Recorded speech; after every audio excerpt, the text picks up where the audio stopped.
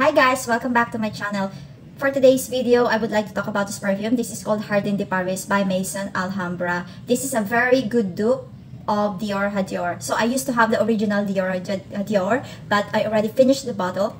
And that one is actually kind of expensive, so I decided to try the dupe and oh my god, I have no regrets. When you look at the bottle, you will initially notice that it looks similar to the original. The shape is not similar, but the quality of the bottle, palaban. I'm going to tell you. It's heavy, it's thick, and the cap, look at that. Very, very fancy looking.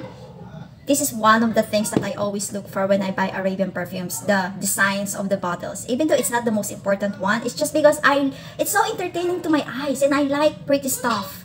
So, the longevity is also superb. It lasts for 6 to 8 hours. Not bad for a very affordable dupe. And guys, this may be a dupe, but this is not fake, okay? When we talk about dupe and fake, fake is different compared to a dupe. Kasi pag fake po kasi, ibig sabihin, ginamit mo yung logo, same ano. Pero ito hindi naman. Iba naman siya ng brand. This is Maison Alhambra. As you can see, hawig nga din yung box niya dun sa original na Dior. Pero guys, hindi ka talaga magsisisi. Kung gusto mo talaga ang makatipid, pwedeng ito na yung gawin mong pang everyday, okay? Pang everyday na to. Kasi halos ikwa, ano, halos talagang parehong pareho sila. It's like 93 to 95% similar. So the only difference that I've seen is that this has more fruity notes and aquatic notes in the middle to the dry down. So, which is good for me. Kasi pag nasobrahan ng florals, lalo na kung allergic ka, uh, medyo bahing ka ng bahing. So, ito hindi ako nababahing dito. So, yun ang nagustuhan ko. Maliban sa longevity and then also yung part na yun. So, try nyo to. But I would also want to tell you guys, this is not recommended for teenagers, okay? So, this is perfect for young professionals or late 20s pataas it's not good for young people kasi you, medyo, medyo may pagka-mature yung amoy. Mature in a good way naman. Hindi naman tipong nakakahilo amoy lupa na mature amoy niya. Ganun parang ang baho kasi mature pag sinabing mature. Hindi naman po. Mabango siya in a sense na mature. Parang, let's just say for a lady. It's not for a younger. Okay? Yun lang po. So, highly recommended. And no, this is not sponsored at all ang ganda. So, dahil dito, nagdadalawang isip na akong bumili ng original na Dior kasi halos pareho talaga, hindi mo naman madetect, wala naman nakakaalam, and sa totoo lang, hindi na siya nagmamatter.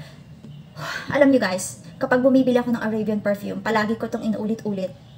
Isa sa mga tinitingnan ko talaga yung bote. Kahit hindi naman yung pinakamahalaga sa pabango, Very entertaining kasi yung mga bote ng Arabian perfume. As you can see, hindi sila nagtitipid. Alam mo yon makapal talaga siya and then fancy looking, sosyaleng tingnan. Hindi mo akalaing affordable lang. Sobra-sobrang sulit ito guys. Walang halong etchos. But of course, that is if you like floral and fruity notes, okay? Yung opening niya, it's more floral. Like orchids, white florals, like um, jasmine. Namoy ko talaga may jasmine dito. And then, sa middle notes nagiging fruity and aquatic and ozonic. And then sa may dulo na nagiging powdery which is very subtle lang naman. And then fruity with florals pa rin. The combination is so good and perfect for special occasions like weddings, baptism, mga evening party, mga pang pangsyalang ano gatherings ganon. Today nga I'm going to church kaya nakabihis ako. And when I go to church mahilig akong gumamit ng floral perfumes kasi sa simbahan namin, ewan ko ba, lagi na lang na, parang naamoy ko amoy floral.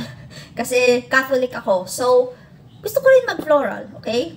So, wala lang, trip ko. And bagay talaga siya sa mga simbahan, mga, yung mga ganong event, yung mga formal events, mga ganon, mga syala-syalang events. So, for everyday use, hindi ko naman siya balak gamitin kasi hindi itong paborito kong amoy sa everyday use. Pero sa mga ganito, simbahan, mga binyagan, mga weddings, perfect ito, mga ganito, mga engagement party. I think this is perfect. Very feminine yung scent nito.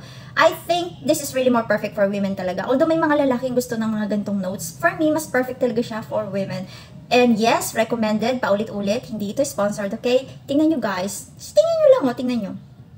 Ang ganda, di ba? Yung original na Dior, Hadior, kung alam niyo naman yung itsura na yung pahaba na parang towel, halos pareho din sila ng quality ng bottle. Wala kang itulak kabigin. Ang pinagkaiba lang, simple, simple syempre, sorry, nabubulol ako.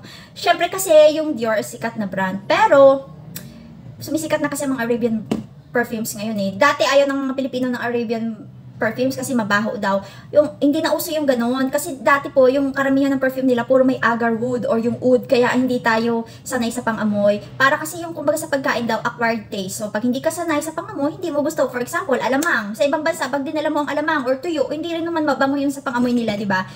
Pero sa atin, bango-bango tayo sa tuyo. So, ganun din yung perfume yung may oud. So, hindi na po ganun ngayon ang mga Arabian perfumes. Hindi na ganun yung iniisip nyo nung panahon ng 80s, 90s. So, try nyo na, lalo na sa mga girls dyan. Sobrang makakatipid pa kayo. And this one, ano, 6 to 8 hours. Matagal, matagal guys. Natalo pa nga nito yung ibang longevity sa ano eh, sa Latafa perfumes ko. And the sillage is like moderate, hindi ganun katapang.